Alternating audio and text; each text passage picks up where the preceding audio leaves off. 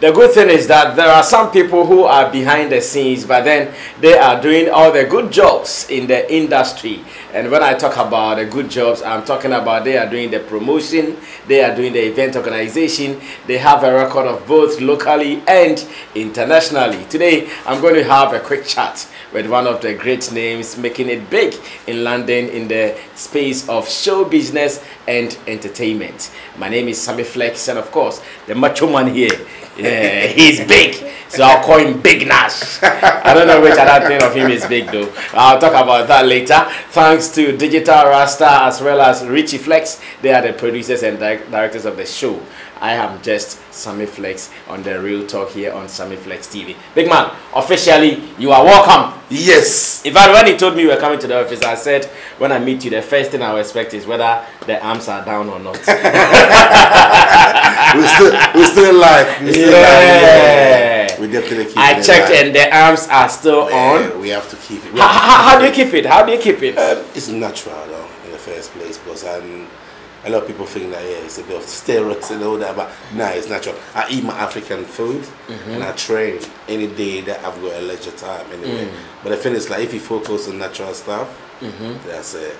So- So, is, is it a daily training routine? As in Nah, morning, evening? No, the thing is that I keep tell, I keep saying all the time that people don't really need to train each and every day. Space matters quite a lot in there as well because the body needs to rest to work. Mm. If you keep working on it all the time, it's not gonna have no rest days so that it can build any of the muscles or any if you can build up. So I might have like about three days, mm-hmm. yeah, little sections in a week. Mm-hmm. Yeah, I mean the rest is just trying to keep fit. I see. Now, now, when you meet ladies, I know some ladies admire boys with big Uh. muscles. When you meet them, how do they react? Oh yeah, some some react a bit different. Some of them you can't even describe because mm. yeah, if you try to describe, you get yourself in trouble. you know what I mean? Yeah, yeah. Now yeah, there's some ladies that um like them, and t- to be honest, there's some ladies that don't want to know at all. Mm. Yeah, they don't even want. They don't like people that are big or muscles or that kind of things. Nah, mm. but those that like, Mm-hmm. they just speak well good of it. They Oh. appreciate it, and mm-hmm. then mm-hmm. they put big smiles on your face too.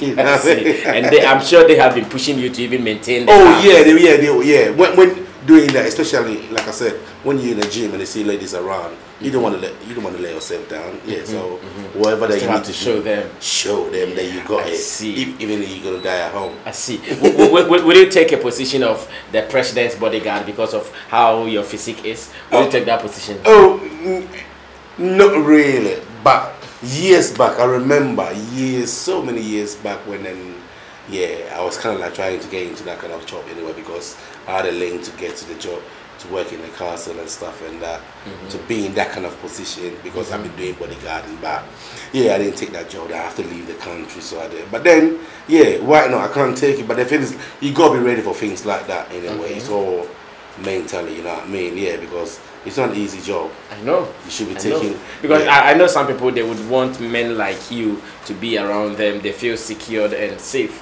when they know they have oh, men, well built men around them. Like oh that. yeah, we get that all the time anyway. Like I said, high grade family people they all know that when Mm. we are around, yeah, it's all secure and solid. you know you're gonna get this. from I know, no, no, Yeah. we, we, we go to the high grade business. I know we go to the high grade business, and uh, he is one of the founders of the high grade family. So he has taken But me I, there. I love all of them. I know he's taking me there as early as possible. We will go there proper. We go there proper. now the good thing is that uh, Big Nash here is based in London. That is where he has been doing his promotions. He has been doing his events everywhere like that. So today let's talk about how the area of promotion is in London. I know gone were the days where every year um, Big Nash promotion you could do about three events a year, four events a year, and it goes on like that. How is the system now? Is it still the same?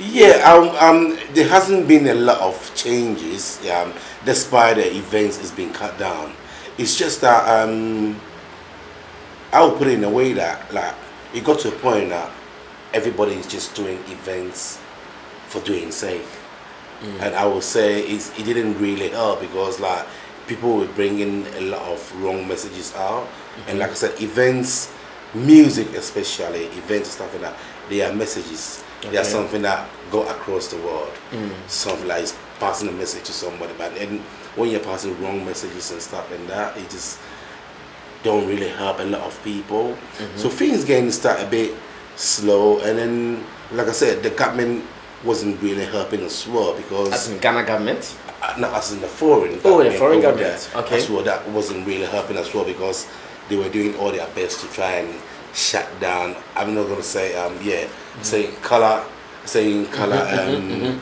nightclubs and stuff and that. Mm-hmm.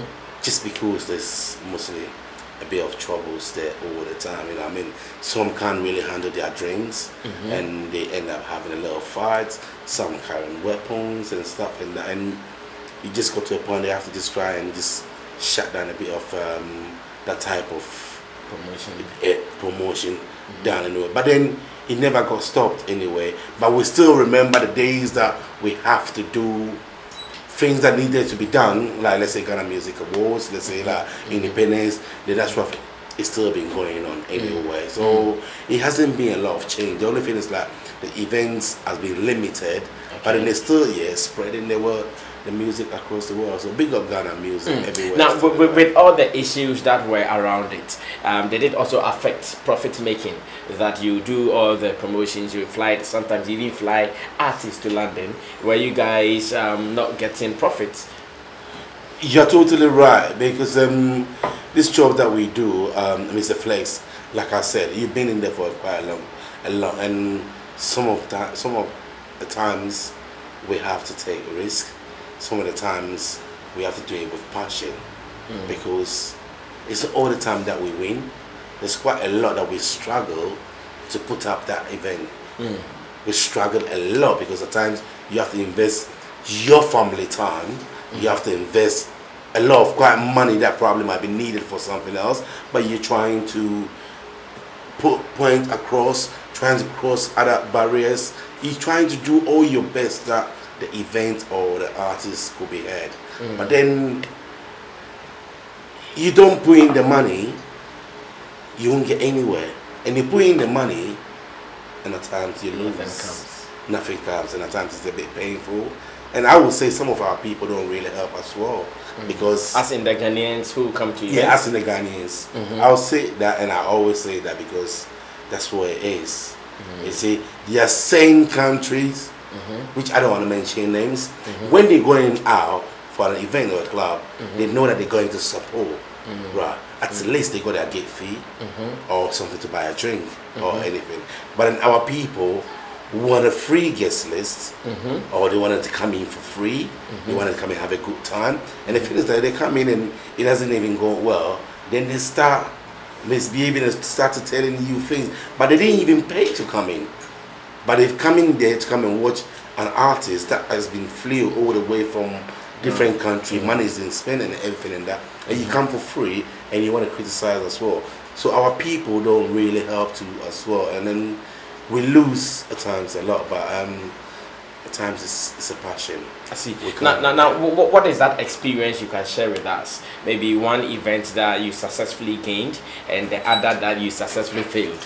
um, yeah, I would say, um, like I said, um, some of the events that we do um, fail quite a lot um, because you've been in the industry and you know that at times this job, saying few of them just need a bit of sponsorship, if I should say.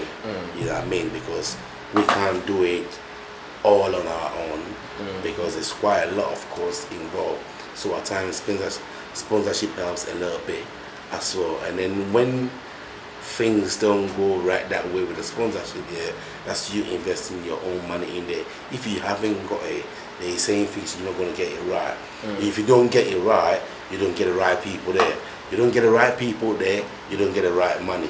You don't get the right money, that means there's unhappiness. Mm. Nobody is happy. So I would take that as a fail. Mm. But there's same events to as well that it's not only sponsorship that helps, but then when things are put right, like organization, planning, directing, delegating powers to other people, everybody getting involved, everybody spreading the message, everybody making things easier for everybody. at times we bring all our people in good, like they come out happily mm -hmm. and then have fun. they support, have fun and they support.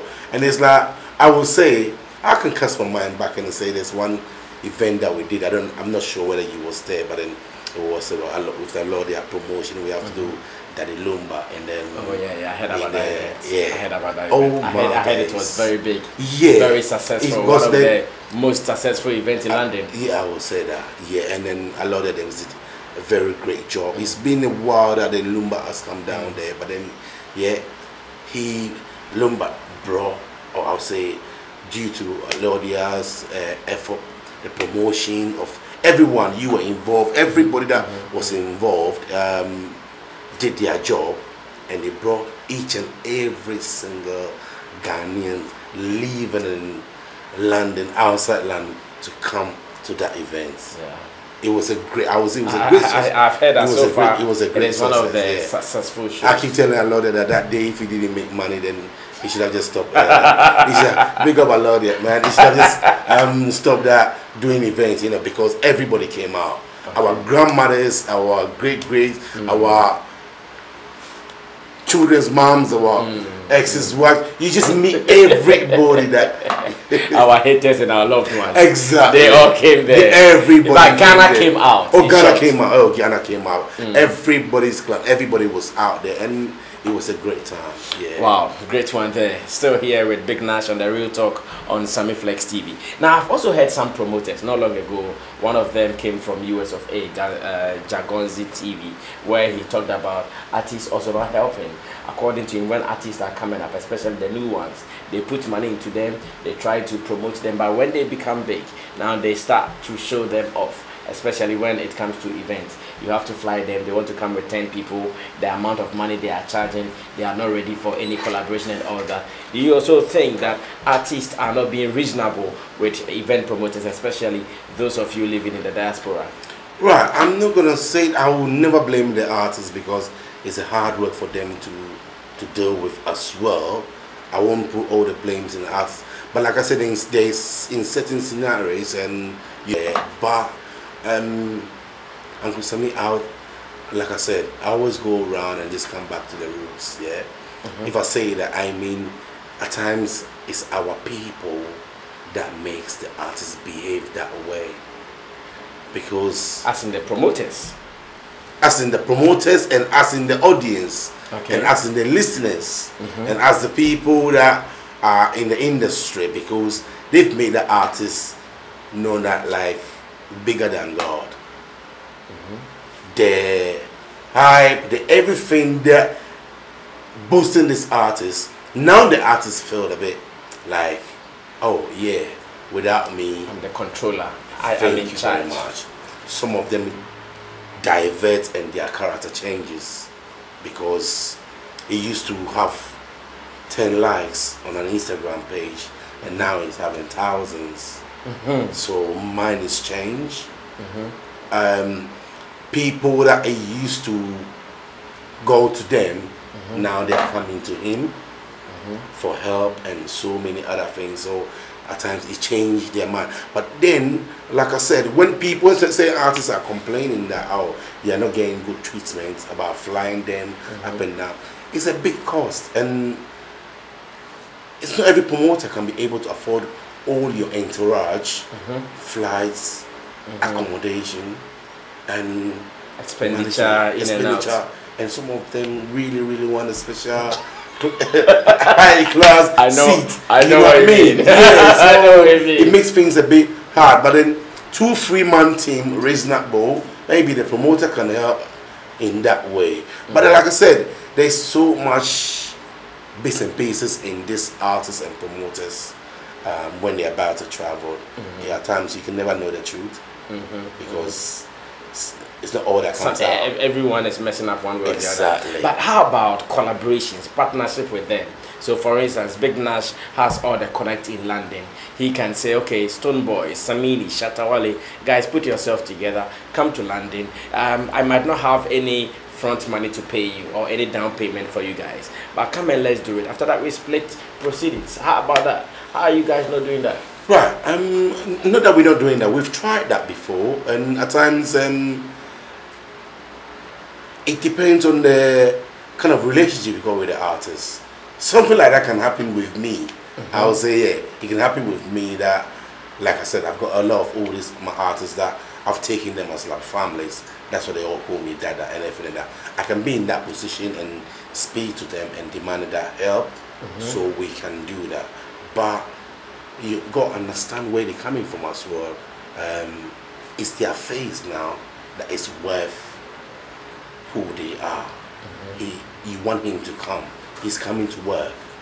You need to just pay him or show him out mm-hmm. what he needs. Mm-hmm. So if um, it's your country, Big Nash is in the UK, he's in London, mm-hmm. he's doing an event, mm-hmm. and you want a Ghanaian based artist mm-hmm. to go partnership with you, mm-hmm. it doesn't sound right because in the first place, that's your country, that's your people. Mm-hmm. Yeah, he is just coming to come and come and do it. So if you're gonna go percentage with him, it doesn't work because he's gonna do all the hard work and what are you gonna do? You just gonna you can't promote that much because you're in Ghana.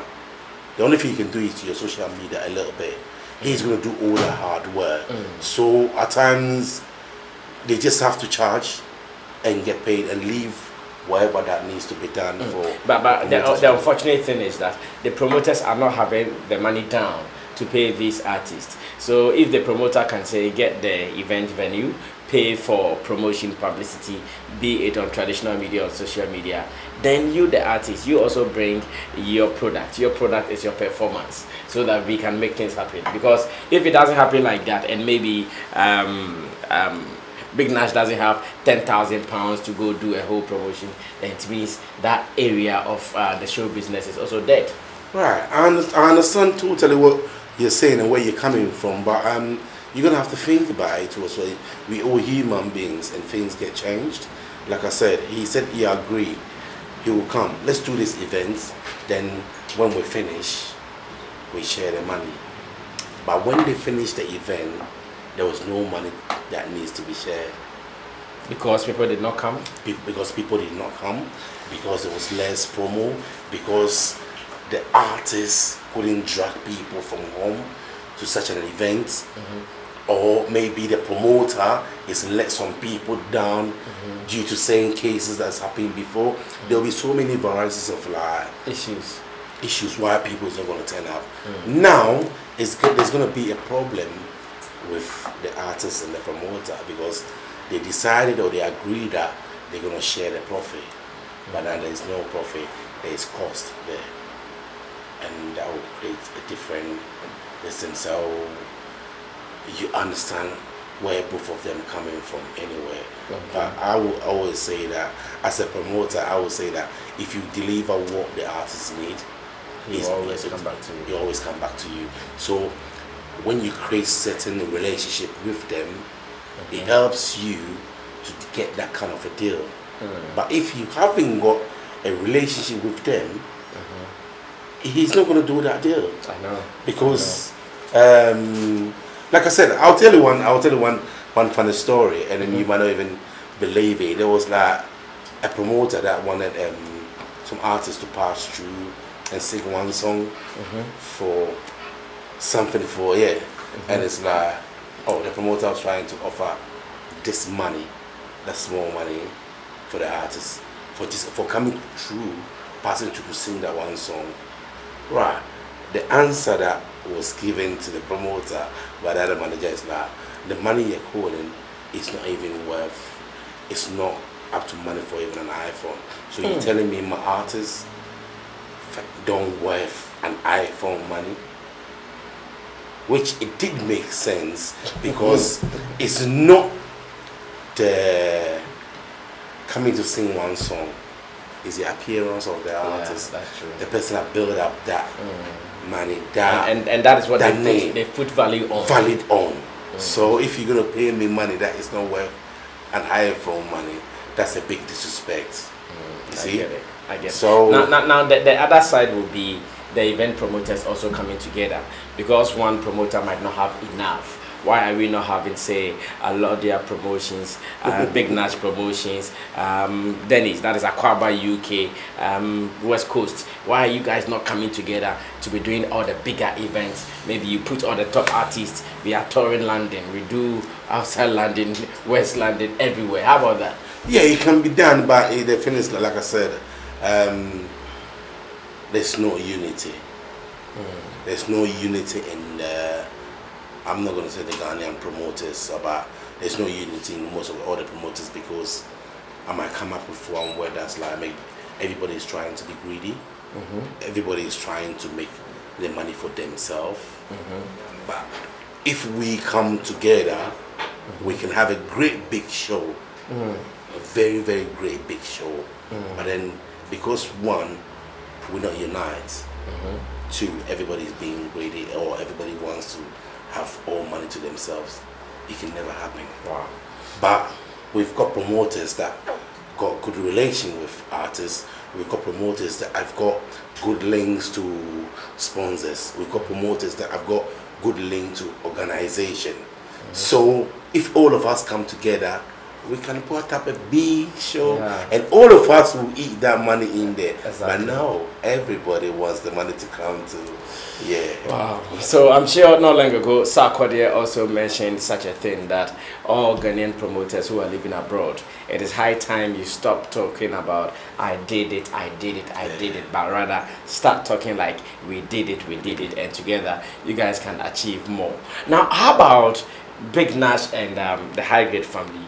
Um, what is your role there? Are you playing any executive role? Because I know from the um, Saminis down to Stonebwoy and everybody who is in that line, they are all uh, they are all sons too. Yeah, the big boy. Yeah, they all call me Dada. I know from the SM fans, from the Beam uh -huh. from uh -huh. yeah, just because like Big Nash is um, portraying himself like a an Afro dancer promoter. Oh, okay. Like I said, um, they're gone are the days when they're saying artists when they even call a Alordia, mm -hmm. or they call and say, oh, go and call Big Nash, you know, because if you're a dancehall artist or this is Big Nash show that you have to go on, not me, because my gender, my everything was about all about Afro music combined with the dancehall music. That's when we come up with all this Afro dancehall. Music. You know what I mean? Mm-hmm. I remember when I was about to go and do Afro Nations in Ghana mm-hmm. eight years ago, and then yeah, these sponsorship things didn't really happen with me, for me and Jobo and other people anyway. But um, it's all about dancehall music. So all these dancehall artists, yeah, they all just um, come through me and then basically I've got passion for. I know. So so you you've done promotions with Shatta Wale before in um, London? Yeah, I would say that. I would say uh, yeah, yeah. Shatta Wale's first um, big show and then um, UK London. Mm -hmm. Yeah, it was done by me. I took I took um, Shatta Wale to UK to do yeah, it's a dance out thing mm -hmm. and event in that's 2013. Okay. You know what I mean? Because then it's got to a point that I've taken Stonebwoy, like I said, a promoter, whoever does well, mm -hmm. yeah, the spouse, high grade dance hall and the yeah, fraternity. Yeah, so if you're doing well, I'll help you. So then I started from like when the Samini was going and Stonebwoy, Jupiter, Iwan, um, Shatta Wale, mm. a whole lot, all mm, just um, come through anyway. So um, yeah it's not only about. Are you going to do? Are you going to do more or now? Your, yeah. your shocks are weak, so you're not going to do. No, more? no, no, no. It's, uh, I still, music is music. It's always the message. So I'm I'm in the industry, and there's more. There's more, more, more to come. Oh, so okay. yeah, Big Nash promotion is something that yeah. Uh, it's not about it. It's no, it, it, ah, it's, now, now at the point when these dancehall and reggae artists were beefing themselves all over. Mm -hmm. uh, Samini against Shatta Wale, Shatta Wale against this one, Stonebwoy. How, how were you uh, managing it? Because you needed to still do the shows, and when they come together, that is when you win more. But when they start throwing jabs among themselves, how are you managing that time? Yeah, at times, at times, I smile, at times I laugh because the thing is like I'm with all of them, I and I can't. Um, yeah, I can't be on one side. Mm -hmm. So I do speak to them or I need to speak to them. Listen, keep it in the music stuff and that lyrical gunshot. We come across across that all the time in Hmm. music anyway, but it was very difficult. Personally, it wasn't. I- no, I know. wa- It, wasn't easy. I know it wasn't easy. I, I, I could feel that you wouldn't know where to stand at the Yeah. time. If you go here so much, you have an issue with it. There's another one. If you come here so much, you have the it issue. got to a time I just even have to just lock myself off from the music industry for some time and be behind the scenes because I don't want to write something, Mm-hmm. then somebody will interpret me. I don't want to say something, then somebody will interpret me. But then, like I said, I knew one day it's all going to be united anyway because Mm. this uh, them anyway, and high grade is high grade, I know. still counting. I know. And So, so uh, what, what do you think about the collaboration between Samini and Shatta Wale? That a it's, it's like a, it's like a, it's like a dream. It's like something that needed to happen some time ago, and it didn't really happen. But then finally, it happened, and the song was a banger. Me, the first time I heard the tune, I thought, yeah, big up Niama. I know that, yeah, you've done it. You've let people know that music is all about, you know, unity, peace, and love. And the song is a big tune. Yeah, it- it's a big tune. Like I said, even when my phone rings now, that's my That's ring. That's my ringing tone.